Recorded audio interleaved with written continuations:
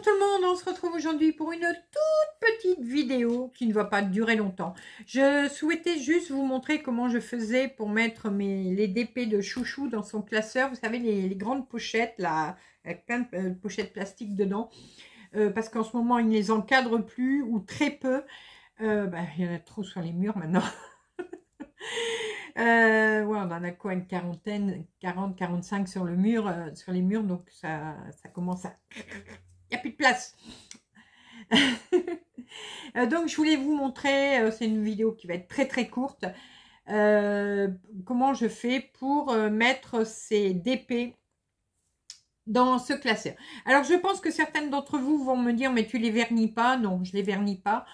Euh, c'est chouchou, il a choisi de pas les vernir. De toute façon, elles sont protégées dans la pochette euh, plastique, ça ne bougera pas. Donc, euh, j'ai pas besoin de les vernir. Voilà. Je vais vous laisser regarder cette petite vidéo qui va durer très... pas longtemps. Très pas longtemps.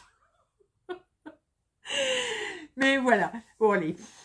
Hein, on a compris? Je vous laisse regarder en, vidéo, en musique? Oh là là Fatiguée aujourd'hui très fatiguée. Allez, je vous fais plein de gros bisous.